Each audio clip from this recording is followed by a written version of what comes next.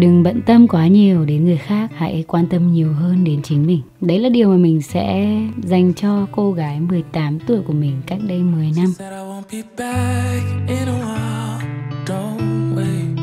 Already packed her bags, called the cab, made space. And she said, I won't answer if you call me when. Đây là những hình ảnh đầu tiên của mình tại thành phố Manchester và mình là một kẻ đã lựa chọn sự cô đơn. Vì sao ư? Vì mình quyết định rời xa thành phố thân quen của mình, đất nước yêu thương của mình, bạn bè, người thân để đến với một nơi xa lạ và bắt đầu mọi thứ lại từ đầu. Mọi người cố gắng để tìm kiếm một ai đó còn mình lại muốn được đi tìm chính mình. Và lựa chọn của mình bây giờ đấy chính là thay đổi một môi trường mới và bắt đầu đối diện với những khó khăn mà mình phải làm khi mà xung quanh không có người thân không có bạn bè.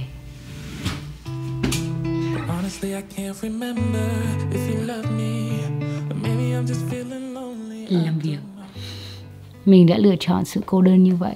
Ấy thế mà đứng trước những khó khăn như vậy mình lại thấy hào hứng và mình cảm thấy biết ơn và may mắn khi mình lựa chọn con đường này, khi mình đã quyết định làm bạn với sự cô đơn và cho mình một khoảng không gian để có thể vừa tận hưởng, vừa trải nghiệm và vừa khám phá chính bản thân mình. Bạn thì sao? Bạn có phải cũng đang cảm thấy cô đơn không? Tại sao mọi người lại ghét sự cô đơn như vậy nhỉ? Mình thì lại thích nó. Mình cảm thấy nó là điều rất là cần thiết trong cuộc sống là một chất liệu tuyệt vời để mình biết rằng khi mình ở bên cạnh ai đấy thì mình sẽ rất là vui và trân trọng cái khoảng thời gian bên nhau. Ở một đất nước hoàn toàn xa lạ, tất cả mọi người xung quanh đều dùng một ngôn ngữ khác, tìm được một quán phở việt nam, những đồ ăn việt rất là dễ nhưng mà để tìm được cái hương vị quê hương thì rất là khó một sự thật mà mình phải chấp nhận đó chính là mình sẽ không còn cơ hội ăn những bát phở 50, 60 nghìn với rất là nhiều thịt và với hương vị vô cùng ngon, vô cùng tươi như ở Việt Nam nữa. Nhưng mà không sao mình sẽ học cách để nấu ra những món ăn ngon mà mình yêu thích tìm kiếm những nguyên liệu rất việt nam để mình có thể tận hưởng cuộc sống ở bên này theo cách của riêng mình. Một cô sinh viên đi học. Rất là tiết kiệm tiền và chi tiêu một cách hợp lý. Mình vẫn hay đi dạo xung quanh như là một cách để ờ, uh, chiêu chiêu mà lại không tốn quá nhiều tiền. Đường phố bên này rất là đẹp luôn có nhiều công viên nữa. Người ta nói rằng phải đi đến những resort xa hoa hay là những nơi đắt đỏ. Còn săn thì chỉ cần đi dạo và nhìn xung quanh. Được ăn dâu tây nữa mọi thứ chỉ cần như vậy là đã quá hoàn hảo.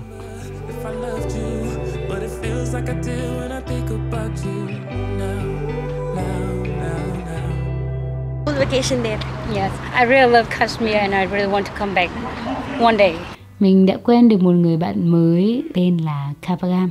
Hai đứa nói chuyện với nhau rất là hợp, mặc dù tiếng Anh Ấn Độ cực kỳ khó nghe luôn các bạn ạ. Đấy, hai kẻ cô đơn tìm đến nhau, kết bạn với nhau. Vậy là chúng ta không còn cô đơn nữa. Cuộc sống là như vậy đấy các bạn ạ nhiều lúc chúng ta tự tìm thấy niềm vui và tự tìm thấy những người bạn ở xung quanh mình mình cảm thấy rằng là không thử làm sao biết được. Chúng ta sợ chúng ta không có đi, chúng ta không có dám làm những điều mà mình vượt qua cái sự an toàn đấy. Vì chúng ta sợ cô đơn, sợ mình sẽ không thể nào vượt qua được những khó khăn. Nhưng mà không thử làm sao biết, đúng không các bạn?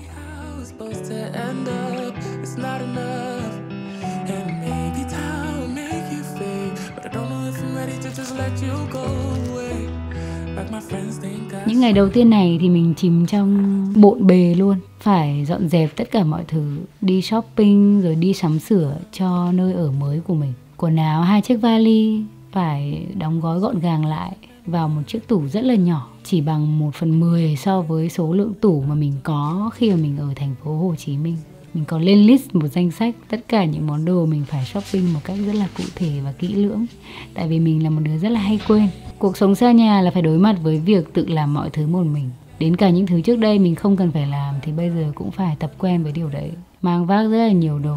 Nếu như trước đây mình cảm thấy hơi tủi thân ấy thì bây giờ mình lại thấy đây là những điều đương nhiên mà mình cần phải làm.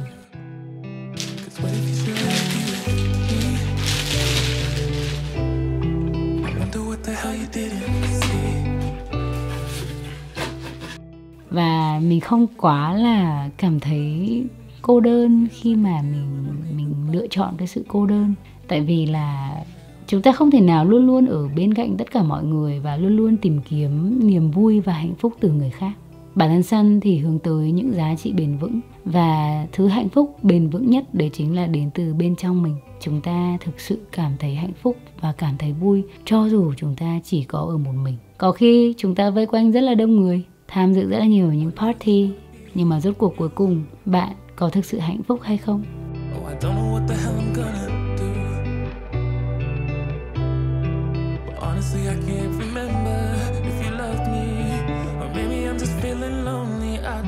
Sun đã bắt đầu những ngày đầu tiên đến trường làm quen với một môi trường mới. Thực ra thì mình cũng chưa thân quen với ai ở cùng lớp với mình cả mình muốn mọi thứ thật là tự nhiên thôi. Ai có duyên thì sẽ gặp, còn không thì thôi. Mình không cố gắng để gây ấn tượng với mọi người xung quanh. Mình sẽ tập trung nhiều hơn về việc học. Xem xét rằng là một năm tới đây này thì mình sẽ chuẩn bị gì cho nó. Mình cũng không đặt mục tiêu quá cao đâu, nhưng mà cũng không vì thế mà mình lười biếng. Đây là trường mình. Ngôi trường mình sẽ học ở manchester. Nhìn chung thì cơ sở vật chất rất là đẹp. Các bạn sinh viên đi học cũng ăn mặc rất là thoải mái luôn. Thích mặc gì thì mặc thầy trò thì nói chuyện rất là thân thuộc như kiểu bạn bè vậy đó. Đấy các bạn nhìn thấy không? Ngay giữa ngay giữa sảnh ấy, nó có một cái check in theo kiểu instagram đấy.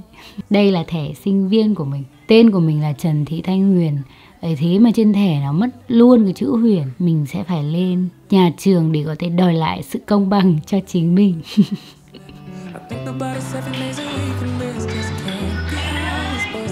ơi từ đấy mà có thấy câu mố. Dưới đến cho mình nấu ăn trước. Baby shark, du du du du du, baby shark, du du du, baby shark. Gần đây thì mình cũng đã chăm chỉ đi chợ rồi là đi mua sắm để có thể nấu ăn nhiều hơn. Mình thích nấu ăn lắm và mình nghĩ rằng mình sẽ làm những cái video nấu ăn để chia sẻ cho các bạn và một lý do vì sao mà mình luôn cảm thấy rất là đủ đầy cho dù mình có ở một mình đi chăng nữa, đấy chính là à, mình có gia đình, những người luôn yêu thương và quan tâm mình. Những người luôn ở đấy ủng hộ, vỗ về, bảo vệ, che chở và yêu thương mình rất nhiều.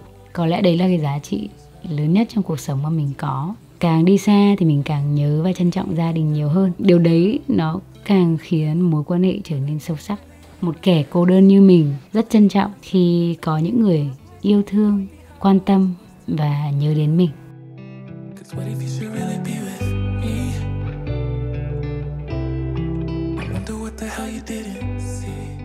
Đây là nhi cô bé việt nam đầu tiên mà săn gặp ở thành phố manchester hai chị em đã cùng nhau đi mua sắm và nói chuyện rất là nhiều luôn. Bọn mình đã ngồi cà phê và trò chuyện suốt nhiều tiếng đồng hồ. Trước khi quay về nhà mình, nấu những món ăn ngon, mình rất là trân trọng những khoảnh khắc mà được trò chuyện với một ai đấy. Và mình nhận ra rằng là tất cả mọi người đều có những nỗi lo của riêng họ, có những nỗi niềm của riêng họ.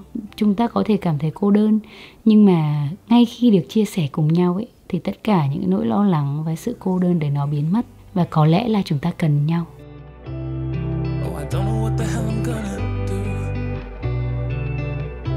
Có thể chúng ta chỉ sống một mình, ở một thành phố khác, ở một đất nước khác, nhưng mà chúng ta có nhau, có sự lắng nghe, sự chia sẻ.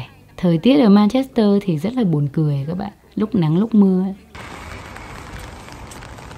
việc mà chúng ta đi ra ngoài đường và trời mưa hay nắng, chúng ta cũng chưa biết.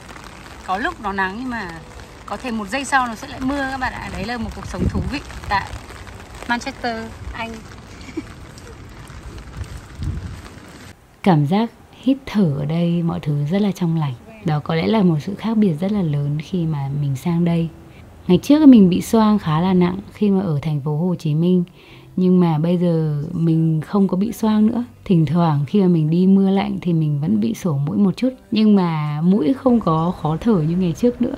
Và những ngày đầu tiên này khi mà đến trường ấy, bọn mình cũng chưa có nhiều thứ để học đâu à, nhưng mà mình vẫn chủ động để mình tìm kiếm thêm những thông tin và chuẩn bị trước cho những buổi học tiếp theo. Cảm giác của mình khi lần đầu tiên đến trường và gặp thầy cô đấy chính là các thầy cô rất là nhiệt tình niềm nở và nhiệt huyết. Họ cười nói và trao cho bọn mình rất là nhiều nguồn năng lượng.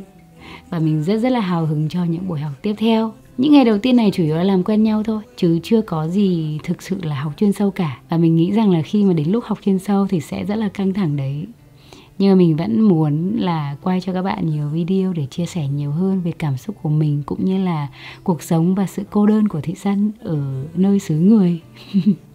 Nếu như bạn sự cô đơn, hãy à, bước ra thế giới nhiều hơn. Hãy thả mình và đối diện với sự cô đơn đấy để thấy rằng có nhiều điều rất là tuyệt vời để bạn khám phá. Khám phá cả cuộc sống xung quanh và khám phá cả cảm xúc bên trong bạn nữa đừng sợ cô đơn và cũng đừng sợ những ánh nhìn của người khác hay là những suy nghĩ của người khác áp đặt lên bạn. Hãy chỉ đơn giản là tập trung vào bản thân mình, lắng nghe cảm nhận của mình và làm những điều mà bạn mong muốn trong cuộc sống. Người ta nói rằng trông bạn thật là cô đơn. Tại sao bạn lại lựa chọn những sự cô đơn đấy? Tôi có giấc mơ của mình, tôi có mục tiêu của mình và tôi đang cố gắng để đạt được tất cả những điều đấy trong cuộc sống. Nếu như các bạn dành thời gian để quá bận tâm đến những suy nghĩ của người khác, hay là tìm kiếm những niềm vui và hạnh phúc từ những người xung quanh từ những thứ ở bên ngoài thì rất khó để chúng ta biết được hạnh phúc thực sự là như thế nào. San rất là muốn chúng ta mỗi người sẽ có một hành trình riêng, lắng nghe những cảm nhận của chính mình để biết được mình thực sự cần gì và muốn gì trong cuộc sống. Hỡi những kẻ cô đơn, mình cũng là một người cô đơn đang ngồi chia sẻ cho các bạn những câu chuyện trong cuộc sống của mình. Và có rất là nhiều câu chuyện nữa mình muốn nói với các bạn. San rất là nóng lòng để chia sẻ cho các bạn hình ảnh nơi mà mình đang sống. Hãy chờ đón trong những vlog lần sau. Cảm ơn và hẹn gặp lại các bạn trong những video tiếp theo.